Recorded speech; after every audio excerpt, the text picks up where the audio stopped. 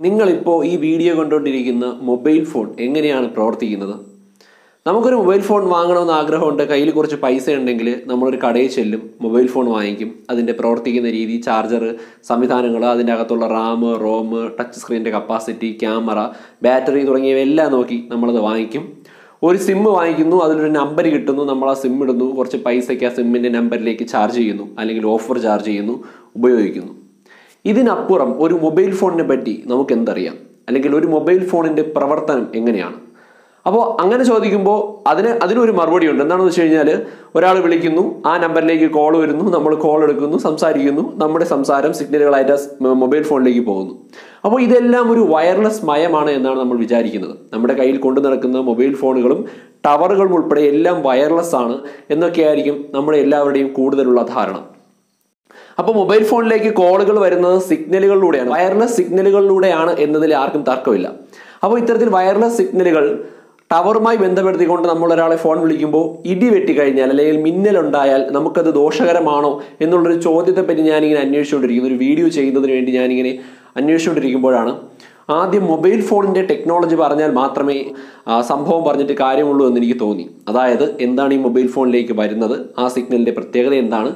Mobile ഫോണിൽ ആഗമനം നടക്കുന്ന പ്രക്രിയ എന്താണ്? നമ്മൾ ഒരാളെ വിളിക്കുമ്പോൾ നെറ്റ്വർക്കുകൾ വല്ലപ്പോഴും വളരെ ചെറിയ ഫ്രാക്ഷനിൽ മാത്രമേ തെറ്റ് പറ്റാറുള്ളൂ ഒന്നുകിൽ വേറെ ആർക്കെങ്കിലും മിക്സായി കയറി പോകാറുള്ളൂ. അല്ലെങ്കിൽ പരമാവധി നമ്മൾ വിളിക്കുന്ന ആളുകൾ ടവറിന്റെ കീഴിലുണ്ടെങ്കിൽ അവർക്കത് കിട്ടുന്നുണ്ട്. അപ്പോൾ എങ്ങനെയാണ് ഈ മൊബൈൽ ഫോണുകൾ ഇത്ര കൃത്യമായി പ്രവർത്തിക്കുന്നത്? ഈ ഒരു ഒരാളെ വിളിക്കുമ്പോൾ അതിന്റെ ഈ ഒരു ടെക്നോളജിയുടെ ഇടയിൽ എന്തൊക്കെ നടക്കുന്നു ഈ മൊബൈൽ ഫോണും? ആ വിളിക്കുന്ന ആളുടെ മൊബൈൽ ഫോണുകൾക്കിടയിൽ ആ സിഗ്നലുകളിൽ തമ്മിൽ എന്തൊക്കെ നടക്കുന്നു എന്നുകൂടി നിങ്ങൾക്ക് പറഞ്ഞു തരണമെന്ന് എനിക്ക് തോന്നി.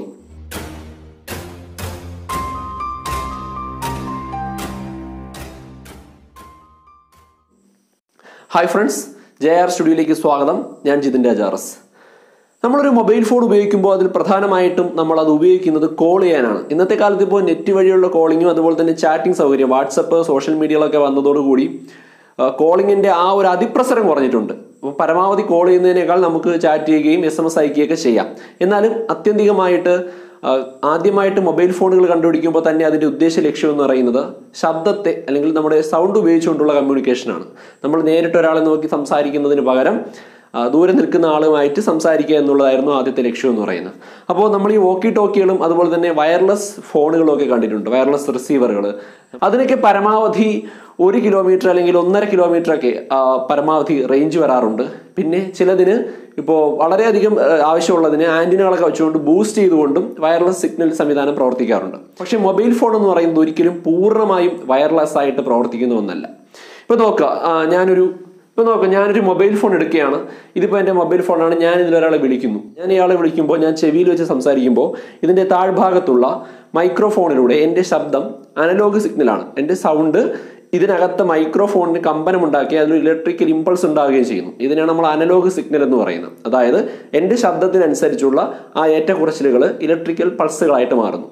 ഇതിനുശേഷം ഈ മൊബൈൽ ഫോണിനകത്തുള്ള ചിപ്പുകളും സെൻസറുകളും ഇതിനെ ബൈനറി സിഗ്നലുകൾ അല്ലെങ്കിൽ ഡിജിറ്റൽ സിഗ്നലുകളാക്കി മാറ്റും. അതായത് one zero zero one one എന്നൊക്കെ പറഞ്ഞുള്ള സിഗ്നലുകളാക്കി മാറ്റുകയും ഇതിനകത്ത് പ്രോസസ്സ് നടന്നതിന് ശേഷം ഇതിന്റെ അകത്ത് തന്നെ സ്ഥാപിച്ചിട്ടുള്ള ചെറിയൊരു ആന്റിന വഴി ഇലക്ട്രോ മാഗ്നറ്റിക് റേഡിയേഷനായിട്ട് പുറത്തേക്ക് സഞ്ചരിക്കുകയും ചെയ്യുന്നു. അതായത് ഇലക്ട്രോമാഗ്നറ്റിക് റേഡിയേഷൻ എന്ന് പറയും പ്രധാനമായിട്ടും റേഡിയോ വേവുകളാണ്. പിന്നെ ഇതിൽ തന്നെ നമുക്ക് two G three G four G സംവിധാനങ്ങളുണ്ട്. അത് നമുക്ക് പറയാം. പല കാര്യങ്ങളും ഞാൻ ഒഴിവാക്കിയാണ് പറയുന്നത്. അതായത് I M E I S I D sim അതെന്താണെന്ന് വെച്ച് കഴിഞ്ഞാൽ ഇത് ഒരുപാട് ഷോർട്ട് നെയിമുകളും ടെക്നിക്കൽ ടേമുകളും ഉണ്ട്. ഇപ്പം ഞാനിത് പറയാൻ നിന്ന ഒന്നാമത്തെ കാര്യം വീഡിയോ ഒരുപാട് ലെങ്ത് ആയി പോകും. രണ്ടാമത്തെ കാര്യം ഇതിപ്പോൾ മനസ്സിലാക്കുന്ന പോലെ സിമ്പിളായിട്ട് അപ്പോൾ മനസ്സിലാക്കാൻ സാധിക്കണമെന്നില്ല. അപ്പോൾ ഇത്തരത്തിൽ റേഡിയോ വേവുകളായിട്ട് ഇതിൽ നിന്നും പോകുന്ന സിഗ്നലുകൾ ഇതിന് ഓരോ ഫ്രീക്വൻസി ഉണ്ട്. പക്ഷേ ഞാൻ സംസാരിക്കുന്ന എന്റെ ശബ്ദ സന്ദേശത്തെ ഇതിനകത്ത് നമുക്കറിയാം വേവുകളാണ് ഈ വേവിന്റെ ഫ്രീക്വൻസി മാറ്റിയോ ആംപ്ലിറ്റ്യൂഡ് മാറ്റിയോ അല്ലെങ്കിൽ ഫേസ് ട്രാൻസിഷൻ ഒക്കെ ചെയ്തുകൊണ്ടോ ഇത് പുറത്തേക്ക് സിഗ്നലുകളെ അയക്കുന്നു. ഇത്തരത്തിൽ സിഗ്നലുകളെ പുറത്തോട്ട് അയക്കുമ്പോൾ ഇത് ആദ്യം ചെല്ലുന്ന ടവറുകളിലേക്കാണ് നമുക്കറിയാം നമ്മുടെ ഫോണിൽ റേഞ്ച് കാണിക്കാറുണ്ട്. അടുത്തുള്ള ടവറിൽ നിന്നും എത്ര ദൂരെയാണ് എന്നുള്ളതിനെ അടിസ്ഥാനപ്പെടുത്തിയാണ് റേഞ്ച് എന്ന് പറയുന്നത്. അപ്പോൾ ഒരു ടവറിന് താങ്ങാൻ കഴിയുന്ന പരമാവധി മൊബൈൽ ഫോൺ യൂസേഴ്സിന് ഒരു നമ്പറുണ്ട് അതുപോലെ തന്നെ പരമാവധി ഒരു റേഞ്ചും ഉണ്ട്. അപ്പോൾ മൊബൈൽ ടവറുകൾക്ക് ഇത് കിട്ടിയതിന് ശേഷം ടവറുകൾ ഇത് പിടിച്ചെടുത്തതിന് ശേഷം പ്രധാനമായിട്ടും ലൈറ്റ് സിഗ്നലുകളാക്കിയാണ് മാറ്റുന്നത്. ലൈറ്റ് സിഗ്നലുകളാക്കി മാറ്റുക എന്ന് പറയുന്നത് നമുക്കറിയാം ഒപ്റ്റിക്കൽ കേബിളുകളാണ് കൂടുതലായിട്ട് ഉപയോഗിക്കുന്നത്. ഇപ്പോൾ ഡിജിറ്റൽ സിഗ്നലുകൾ ഇലക്ട്രിക്കൽ പൾസുകളാക്കി മാറ്റിയാണ് മുമ്പ് ഉപയോഗിച്ചിരുന്നത്. അപ്പോൾ അതിൽ ഒരുപാട് ഡാറ്റ ലോസ് ഉണ്ടാവും അല്ലെങ്കിൽ എനർജി ലോസ് ഉണ്ടാവും. അപ്പോൾ ഇപ്പോൾ ലൈറ്റ് പൾസുകളാക്കി മാറ്റിയിട്ട് ട്രാൻസിവർ ബോക്സ് എന്ന് പറയുന്ന ഒരു ബോക്സ് ഇതിന്റെ ബേസ് ഭാഗത്തായിട്ട് ഇരിപ്പുണ്ട്. നമുക്കറിയാം ടവറുകളുടെ ചുവട്ടിൽ ഒരു വലിയ ഇരുമ്പ് മുറി ഉണ്ട്. അതിനകത്താണ് ഈ സംഭവങ്ങളൊക്കെ നടക്കുന്നത്. ആംപ്ലിഫിക്കേഷൻ അതുപോലെ തന്നെ മിക്സ് ചെയ്യുന്നത്. ഈ ഫ്രീക്വൻസികളൊക്കെ മിക്സ് ചെയ്തുകൊണ്ട് വേറൊരു ഫ്രീക്വൻസി ലൈറ്റ് സിഗ്നലാക്കി മാറ്റിയതിന് ശേഷം ഏതാളെയാണോ നമ്മൾ വിളിക്കുന്നത് ആ അയാൾ നിൽക്കുന്ന പൊസിഷനിലുള്ള ടവറിലേക്ക് ഈ വയറുകൾ വഴി ഭൂമിക്കടിയിലൂടെ ഈ സിഗ്നലുകൾ സഞ്ചരിക്കുകയാണ് ചെയ്യുന്നത്. ഒപ്റ്റിക്കൽ കേബിളുകൾ വഴി സിഗ്നലുകൾ സഞ്ചരിക്കുകയും ആ ടവറിൽ എത്തുകയും ആ ടവറിന്റെ മുകളിൽ എത്തിയതിനു ശേഷം ട്രാൻസ്മിറ്റ് ചെയ്യുന്ന ആന്റിനകൾ റിസീവർ ആന്റിനയുമുണ്ട് ട്രാൻസ്മിറ്റിംഗ് ആന്റിനയും ഉണ്ട്. ട്രാൻസ്മിറ്റ് ചെയ്യുന്ന ആന്റിനകൾ റേഡിയോ വേവുകളായിട്ട് അയാളുടെ ഫോണിന് അനുയോജ്യമായ ഫ്രീക്വൻസിയിലേക്ക് സെൻഡ് ചെയ്യുകയും അയാളുടെ ഫോണ് റേഞ്ചിനകത്താണ് നിൽക്കുന്നതെങ്കിൽ കോൾ സ്വീകരിക്കുകയും ചെയ്യുന്നു. ഇതാണ് ഏറ്റവും സിമ്പിളായിട്ട് പറയുന്നത്. ഇപ്പോൾ തന്നെ നിങ്ങളുടെ മനസ്സിലേക്ക് ഒരുപാട് സംശയങ്ങൾ വരും. ഇതിനിടയ്ക്ക് ഒരുപാട് കാര്യങ്ങളില്ലേ? ഫോൺ നമ്പറുണ്ട് ഒരുപാട് പേർക്ക് മൊബൈൽ ഫോൺ ഉണ്ട്. ഞാൻ വിളിച്ചാലിനെ തന്നെ എങ്ങനെയാണ് എനിക്ക് കറക്റ്റ് കിട്ടുന്നത്? ഇത്രയും ദൂരെ എങ്ങനെയാണ് ഫൈബർ ഒപ്റ്റിക്സ് കേബിളുകൾ ഉപയോഗിച്ചുകൊണ്ട് പോകുന്നത്? ഈ ഏകദേശ ചോദ്യങ്ങൾക്കെല്ലാം ഒരു സാധാരണ രീതിയിൽ ഞാൻ മറുപടി തരാം. ടെക്നിക്കലായിട്ട് ആഴത്തിൽ പറഞ്ഞു കഴിഞ്ഞാൽ എല്ലാവർക്കും മനസ്സിലാവണമെന്നില്ല.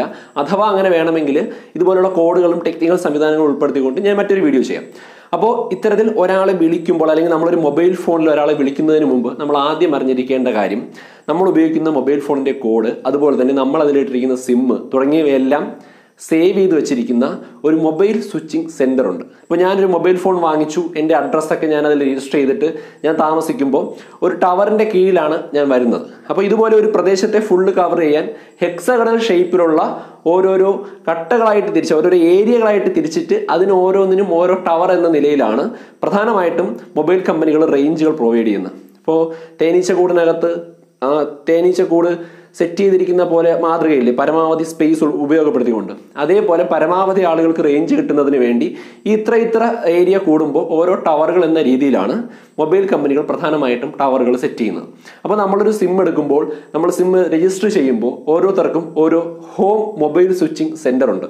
ഇതിനെ മൊബൈൽ സ്വിച്ചിങ് ഓഫീസും എന്നും പറയാറുണ്ട്. അതായത് നമ്മുടെ സിമ്മിന്റെ നമ്പർ നമ്മുടെ സബ്സ്ക്രിപ്ഷനുകൾ അതുപോലെ തന്നെ നമ്മുടെ ഡാറ്റ ഓഫറുകൾ നമ്മൾ നിൽക്കുന്ന ലൊക്കേഷൻ നമ്മുടെ ടൈം സോൺ മൊബൈലിന്റെ മറ്റ് പൊസിഷൻ കാര്യങ്ങൾ ഇതെല്ലാം ഈ ഒരു സെന്ററിൽ അപ്ഡേറ്റ് ആയിട്ട് സ്റ്റോർ ചെയ്യപ്പെടുന്നുണ്ട്. കൃത്യമായ ഇടവേളകളിൽ ഇത് അപ്ഡേറ്റ് ചെയ്യുകയും ചെയ്യുന്നുണ്ട്. അപ്പോൾ ഞാനിപ്പോൾ എന്റെ ഒരു സ്ഥലത്ത് നിൽക്കുമ്പോൾ എന്റെ ടവറിന് കീഴിൽ വരുന്ന മൊബൈൽ സ്വിച്ചിങ് സെന്ററാണ് എന്റെ ഹോം മൊബൈൽ സ്വിച്ചിങ് സെന്റർ അപ്പോൾ ഈ ഹോം മൊബൈൽ സ്വിച്ചിങ് സെന്റർ വെച്ചുകൊണ്ടാണ് എന്റെ പൊസിഷൻ മനസ്സിലാക്കുന്നത്. അപ്പോൾ ഞാൻ ഇവിടെ നിന്നൊരു വണ്ടി എടുത്തുകൊണ്ട് വേറെ ദൂരേക്ക് പോകുമ്പോൾ എന്ത് സംഭവിക്കും? ഞാൻ എന്റെ ടവർ മാറും. എന്റെ ടവർ മാറുമ്പോൾ കൃത്യമായ ഇടവേളകളിൽ മൊബൈലിന്റെ ടൈം അപ്ഡേറ്റ് ചെയ്തുകൊണ്ടോ അല്ലെങ്കിൽ ഓരോരോ ടവറുകൾ മാറുന്ന ആ ഒരു റൂട്ട് അനുസരിച്ചുകൊണ്ടോ അതുമല്ലെങ്കിൽ മൊബൈൽ ഫോൺ ഓണാക്കുമ്പോൾ ഉണ്ടാകുന്ന അപ്ഡേഷൻ വഴിയോ എന്റെ home mobile switching centre foreign mobile switching സെന്ററിലേക്ക് മാറും. അതായത് മറ്റൊരു ടവറിന്റെ കീഴിലുള്ള അല്ലെങ്കിൽ മറ്റൊരു പ്രദേശത്തുള്ള മൊബൈൽ സ്വിച്ചിങ് സെന്ററിലേക്ക് മാറും. ഒരു മൊബൈൽ സ്വിച്ചിങ് സെന്ററിന് ഒരു ടവർ അല്ല ഉള്ളത് ഒരുപാട് ടവറുകളുണ്ട്. ഇതിൽ നിന്നും പുറത്തേക്ക് പോവുകയാണെങ്കിലാണ് അടുത്ത ഫോറിൻ മൊബൈൽ സ്വിച്ചിങ് സെന്ററിലേക്ക് മാറുന്നത്. അപ്പോൾ എന്റെ ഹോം സെന്ററിൽ നിന്നും എന്റെ ഡാറ്റാസും മറ്റു കാര്യങ്ങളും താൽക്കാലികമായി ഫോറിൻ മൊബൈൽ സ്വിച്ചിങ് സെന്ററിലേക്ക് സ്റ്റോർ ചെയ്യപ്പെടുന്നു. എന്നിരുന്നാൽ പോലും ഞാൻ ആ ആ പ്രദേശത്ത് നിന്നുകൊണ്ട് എന്റെ ഫോണിൽ ചെയ്യുന്ന കാര്യങ്ങളും ഞാൻ വിളിക്കുന്ന കോളുകളും എന്റെ മൊബൈൽ ഡാറ്റ ഉപയോഗവും എല്ലാം ഫോറിൻ ഡാറ്റാ സെന്റർ കൃത്യമായിട്ട് ഹോം ഡാറ്റാ സെന്ററിൽ സ്റ്റോർ ചെയ്യുന്നതിന് വേണ്ടി സെൻഡ് ചെയ്യുന്നുണ്ട്. അപ്പോൾ ഞാൻ ഒരാളെ വിളിക്കുകയാണ്. ഞാൻ ഒരാളെ വിളിച്ച് നമ്പർ കോൾ ചെയ്യുമ്പോൾ ആ നമ്പർ ഐഡന്റിഫൈ ചെയ്തിട്ട് വേണം നമുക്ക് സെൻഡ് ചെയ്യേണ്ടത്. പക്ഷേ ഞാൻ വിളിക്കുന്ന സമയത്ത് ഈ കോൾ പുറത്തോട്ട് പോവുകയും ടവർ വഴി എന്റെ ഹോം മൊബൈൽ സ്വിച്ചിങ് സെന്ററിനകത്ത് നിന്ന് ഇത് പ്രോസസ്സ് ചെയ്ത് എനിക്ക് ബാലൻസ് ഉണ്ടോ? അതുപോലെ തന്നെ നമ്പർ നിലവിലുണ്ടോ? തുടങ്ങിയ കാര്യങ്ങളൊക്കെ സെർച്ച് ചെയ്തതിന് ശേഷം ഈ സിഗ്നൽ ഒപ്റ്റിക്കൽ കേബിളുകൾ വഴി ഞാൻ ആരെയാണോ വിളിക്കുന്നത് അയാളുടെ ഹോം സ്വിച്ചിങ് സെന്ററിലേക്ക് പോകും. ഇത് ആ നമ്പറിൽ തന്നെ എംബഡാണ് നമ്മൾ ആരെ വിളിക്കുന്നു? അവരെ നമ്പറിൽ നിന്ന് ഐഡന്റിഫൈ ചെയ്യാൻ കഴിയുന്നതാണ്. ഇതൊക്കെ അപ്ഡേറ്റ് ചെയ്തുകൊണ്ടിരിക്കുകയാണ്. അപ്പോൾ അവരുടെ ഹോം സ്വിച്ചിങ് അവരുടെ ഹോം മൊബൈൽ സ്വിച്ചിങ് സെന്ററിൽ ചെന്നതിന് ശേഷം അവിടെ നിന്ന് പ്രോസസ്സ് ചെയ്തിട്ട് ആ ആ റീജിയനിലുള്ള ഏതെങ്കിലും ടവറുകൾക്കുള്ളിൽ റേഞ്ചിനുള്ളിൽ ഈ വ്യക്തി ഉണ്ടോ എന്ന് നോക്കുന്നു. ഈ വ്യക്തിയുടെ മൊബൈൽ കണക്ഷൻ ഉണ്ടോ എന്ന് നോക്കുന്നു. അതുമല്ലെങ്കിൽ അതിന് സേവ് ചെയ്തിട്ടുണ്ട്. അയാൾ പുറത്തോട്ട് പോയിട്ടുണ്ടെങ്കിൽ അയാൾ പുറത്തോട്ട് പോയിരിക്കുന്ന ഫോറിൻ മൊബൈൽ സ്വിച്ചിങ് സെന്റർ ഈ homes mobile switching centre save ചെയ്തിട്ടുണ്ട്. അതിലേക്ക് സെൻഡ് ചെയ്യുന്നു.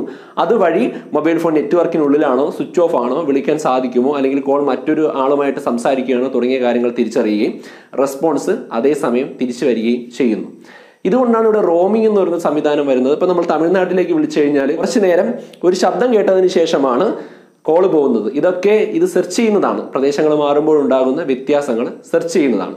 ഇത്തരത്തിലാണ് പ്രധാനമായിട്ടും മൊബൈൽ ഫോണുകൾ പ്രവർത്തിക്കുന്നത്. ഇങ്ങനെ മൊബൈൽ ഫോണുകൾ പ്രവർത്തിക്കുമ്പോൾ വീണ്ടും ഒരു സംശയം ഉണ്ടായിരിക്കാം. ഈ കോളുകളെല്ലാം മിക്സ് ആകില്ലേ?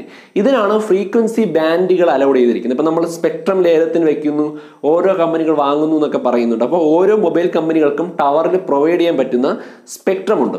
ഈ സ്പെക്ട്രത്തിനകത്തുള്ള ബാൻഡ് ഉപയോഗിച്ച് മാത്രമേ അവരുടെ സിം വർക്ക് ചെയ്യൂ. ഇപ്പോൾ ഫോർ ജി ആണെങ്കിൽ പ്രധാനമായിട്ടും ആയിരത്തി തൊള്ളായിരത്തി മുപ്പത് മെഗാ ഹെഡ്സിനും ആയിരത്തി തൊള്ളായിരത്തി നാൽപ്പത്തി അഞ്ച് മെഗാ ഹെഡ്സിനും ഇടയ്ക്കുള്ള ഒരു ചെറിയ റീജിയനിലാണ് ഫോർ ജിയിലെ ചില നെറ്റ്വർക്കുകളെല്ലാം പ്രധാനമായിട്ടും പ്രവർത്തിക്കുന്നത്. ഇത്തരത്തിൽ പ്രവർത്തിക്കുമ്പോൾ ഒന്നുകിൽ ഒരു ടവറിന് ഒരേ രീതിയിലുള്ള ഫ്രീക്വൻസി കൊടുക്കുകയോ അല്ലെങ്കിൽ ഓരോ വ്യക്തികൾക്കും ചെറിയ ചെറിയ വ്യത്യാസത്തിലുള്ള ബാൻഡുകൾ പ്രൊവൈഡ് ചെയ്യുകയോ ചെയ്യും. അതായത് നമ്മുടെ കോളുകൾ കുരുങ്ങാതിരിക്കാൻ ഈ അയക്കുന്ന വേവ് സിഗ്നലുകളുടെ ചെറിയ ചെറിയ വ്യതിയാനങ്ങളാണ് ഉപയോഗപ്പെടുത്തുന്നത്. അതിനുശേഷം അത് ടവറുകൾ കൃത്യമായി തിരിച്ചറിയുകയും ഇങ്ങനെ ഓരോരോ ടവറുകളിലേക്ക് അയക്കുകയും ചെയ്യുന്നു. അപ്പോൾ ലോകം മുഴുവൻ ടവറുകൾ ബന്ധിപ്പിച്ചിരിക്കുന്നത് വയർ സംവിധാനം വഴിയാണ് അല്ലെങ്കിൽ ഫൈബർ ഒപ്റ്റിക്സ് വഴിയാണ്. ഒന്നുകിൽ ഭൂമിക്കടിയിലൂടെ കുഴിച്ചിട്ടതോ അല്ലെങ്കിൽ സമുദ്രത്തിലൂടെ കുഴിച്ചിട്ടതോ ആയ രീതിയിലാണ് യൂറോപ്യൻ രാജ്യങ്ങളിലും അമേരിക്കയിലായാലും ഏഷ്യയിലായാലും ഇന്ത്യയിലായാലും ആഫ്രിക്കയിലായാലും എല്ലാം ഡാറ്റ സംവിധാനം എത്തുന്നത്. അപ്പോൾ നമ്മൾ മനസ്സിലാക്കേണ്ട കാര്യം മൊബൈൽ ഫോൺ എന്ന് പറയുന്നത് പൂർണമായിട്ടും വയർലെസ് സംവിധാനമല്ല. നമ്മൾ കൊണ്ടു നടക്കുന്ന പാകത്തിലുള്ള മൊബൈൽ ഫോണുകളിൽ നിന്ന് സിഗ്നലുകൾ ടവറുകൾ സ്വീകരിച്ച ശേഷം ബാക്കിയെല്ലാം വയർ വഴിയാണ് നടക്കുന്നത്. കാരണം ഒന്നാമത്തെ കാര്യം നമുക്കറിയാം നമ്മുടെ ഫോണുകളുടെ സ്ട്രെങ്ത് അത് അയക്കുന്ന സിഗ്നലുകളുടെ സ്ട്രെങ്ത് ഇതൊക്കെ വെച്ച് നോക്കുമ്പോൾ വളരെ പ്രയാസമാണ്. അതുപോലെ തന്നെ ടവറുകളിൽ നിന്ന് വളരെ ദൂരെയായിരിക്കുമ്പോൾ മൊബൈൽ ഫോണുമായിട്ട് സിഗ്നൽ നിലനിർത്താൻ വളരെയധികം പ്രയാസപ്പെടുകയും മൊബൈൽ ഫോണുകൾ ഓവറായിട്ട് ചാർജ് പിടിക്കുകയും ചെയ്യുന്നുണ്ട്. ഈ അവസരങ്ങളിലൊക്കെയാണ് മൊബൈൽ ഫോണുകൾ കൂടുതലും ദോഷകരമായി മാറുന്നു എന്ന് പറയപ്പെടുന്നത്. അതായത് മൊബൈൽ ഫോണുകൾ ക്യാൻസർ ഉണ്ടാക്കുന്നുണ്ടോ അല്ലെങ്കിൽ ഗർഭ കാലയളവിനെ ബാധിക്കുന്നുണ്ടോ? തുടങ്ങിയ കാര്യങ്ങളൊക്കെ ഒരുപാട് പഠന വിധേയമാക്കിയതാണെങ്കിലും മൊബൈൽ ഫോണുകൾ ക്യാൻസർ വരുത്തുന്നതായിട്ട് പൂർണമായും തെളിയിക്കപ്പെട്ട ഒരു പഠന റിപ്പോർട്ടുകൾ ലഭ്യമല്ല. എന്നാലും മൊബൈൽ ഉപയോഗിക്കുന്നത് കൊണ്ട് ക്യാൻസർ വന്നു കഴിഞ്ഞാൽ അതിന് മൊബൈലിന് കുറ്റം പറയുന്നവരുണ്ട്. പക്ഷേ സംഭവം എന്താണെന്ന് വെച്ച് കഴിഞ്ഞാൽ അധിക നേരം നമ്മൾ ഈ റേഡിയോ വേവുകൾ വരുന്ന മൊബൈൽ ഫോണുകൾ ഒന്നത് ചൂടുള്ള വസ്തുവാണ്. ഇത് ചെവിയിലേക്ക് വെച്ച് പിടിക്കുമ്പോൾ ബ്രെയിൻ കൂടുതൽ ചൂടാകുന്നതിനും നമ്മുടെ മൈൻഡിനെ അത് മനസ്സിനെ അത് ബാധിക്കുന്നതിനും സാധ്യതയുണ്ട്. അതുകൊണ്ട് തന്നെ പ്രധാനമായിട്ടും ബ്ലൂടൂത്ത് ഹെഡ്സെറ്റുകളൊക്കെ ഉപയോഗിക്കുന്നതാണ് നല്ലത്. അല്ലാതെ മൊബൈൽ ഫോണുകൾ കാര്യമായ പ്രശ്നം പ്രശ്നമുണ്ടാക്കുമെന്ന് ഇതുവരെയും കണ്ടെത്തിയിട്ടില്ല. ഇതുപോലെ തന്നെ നിങ്ങൾക്ക് മനസ്സിലായി കാണും ഈ റേഡിയോ സിഗ്നലുകൾ എന്ന് പറയുന്ന എല്ലായിടത്തും ഉണ്ട്. നമ്മുടെ മൊബൈൽ അതിനാവശ്യമുള്ളത് മാത്രം വലിച്ചെടുക്കുന്നു എന്നേ ഉള്ളൂ. ബഹിരാകാശത്ത് നിന്ന് വരുന്നുണ്ട് മൈക്രോവേവ് അവനിൽ പുറത്തേക്ക് ചെറിയ തോതിൽ റേഡിയോ വേവ്സുകൾ വരുന്നുണ്ട്. നമ്മുടെ മറ്റ് ഉപകരണങ്ങൾ ഇലക്ട്രിസിറ്റിയുമായി ബന്ധപ്പെട്ട് എല്ലാം റേഡിയോ വേവുകൾ നമ്മുടെ ചുറ്റും പ്രവഹിക്കുന്നുണ്ട്. ഈ സിഗ്നലുകളിൽ വളരെ വളരെ ആയിരക്കണക്കിന് സിഗ്നലുകളിലെ ഏതോ ഒരു ചെറിയ സിഗ്നലാണ് നമ്മൾ ടവർ വഴി കമ്മ്യൂണിക്കേറ്റ് ചെയ്യുന്നത്. അപ്പോൾ ടവറിൽ ഇടി വീണാൽ പോലും ഒരിക്കലും അത് മൊബൈലിനെ അട്രാക്ട് ചെയ്യില്ല. മൊബൈൽ മെറ്റലുകൊണ്ടാണ് ഉണ്ടാക്കിയിരിക്കുന്നത്. മെറ്റലുകൊണ്ട് ഉണ്ടാക്കിയിരിക്കുന്ന ഒരുപാട് വസ്തുക്കൾ വീട്ടിലുണ്ട്. അപ്പോൾ അതുകൊണ്ട് തന്നെ മൊബൈൽ ഫോണിൽ ഇടി വീഴത്തില്ല. നേരിട്ട് ഇടി വീഴില്ല. അഥവാ നിങ്ങൾക്ക് മൊബൈൽ ഫോൺ കയ്യിലിരിക്കുമ്പോൾ ഇടി ഏൽക്കുന്നുണ്ടെങ്കിൽ നിങ്ങൾ തെറ്റായ സമയത്ത് തെറ്റായ സ്ഥലത്ത് നിന്നതുകൊണ്ടാണ്. അതായത് ഇടി വീഴാൻ സാധ്യതയുള്ള സ്ഥലത്ത് നിന്നതുകൊണ്ടാണ്.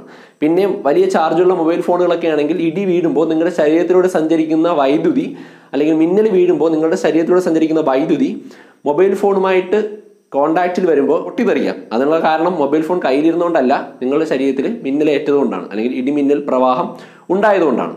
അപ്പോൾ ഇനി കുറച്ച് കാര്യങ്ങളുണ്ട്. One G two G three G four G ഇനി വരാൻ പോകുന്ന ഫൈവ് ജി. അപ്പോൾ വൺ ജി എന്ന് പറയുന്നത് നമുക്കറിയാം ആദ്യകാലത്ത് കണ്ടുപിടിച്ച ഇഷ്ടികയുടെ വലിപ്പമുള്ള മൊബൈൽ ഫോണാണ്. ഈ മൊബൈൽ ഫോണുകൾ പ്രധാനമായിട്ടും അനലോഗ് സിഗ്നലുകളെ നേരിട്ടാണ് അയച്ചിരുന്നത്. അതായത് മൈക്രോഫോൺ വഴി വരുന്ന അതായത് നമ്മുടെ സൗണ്ടിനെ മൈക്രോഫോൺ ഇലക്ട്രിക് സൗണ്ടുകളാക്കി മാറ്റുന്നു. ഇതിനെ നേരിട്ട് സിഗ്നലുകളാക്കി അയച്ചിരുന്നു. ഇത്തരത്തിൽ അയക്കുമ്പോൾ പ്രശ്നം എന്ന് പറയുന്നത് മൾട്ടിപ്പിൾ ആക്സസ് ഉണ്ടാവാനുള്ള സാധ്യതയുണ്ട്. ഒന്നിലധികം മൊബൈൽ ഫോണുകൾ വരുമ്പോൾ സിഗ്നലുകൾ കുരുങ്ങാൻ സാധ്യതയുണ്ട്. അതുപോലെ തന്നെ ഒരുപാട് നോയ്സുകൾ അതായത് തടസ്സങ്ങൾ മറ്റ് ശബ്ദങ്ങളൊക്കെ കടന്നു വരുന്നതിനും ക്ലാരിറ്റി കുറയുന്നതിനും സാധ്യതയുണ്ട്. പിന്നീട് ടു ജി വന്നപ്പോഴാണ് നമ്മുടെ ഈ നോക്കിയുടെ പഴയ ഹാൻഡ്സെറ്റ് സെറ്റൊക്കെ വരുന്നത്. അവിടെ പ്രധാനമായിട്ടും സി ഡി എം എയും ടി ഡി എം എയും ആണ് ഉപയോഗിക്കുന്നത്. നമ്മളിതൊക്കെ കേട്ടിട്ടുണ്ട്. സി ഡി എം എന്ന് പറയും സി ഡി എം എന്ന് പറയുന്നത് code division multiple access T D M എന്ന് പറയുന്നത് ടൈം ഡിവിഷൻ മൾട്ടിപ്പിൾ അക്സസ് എന്നുള്ളതാണ്.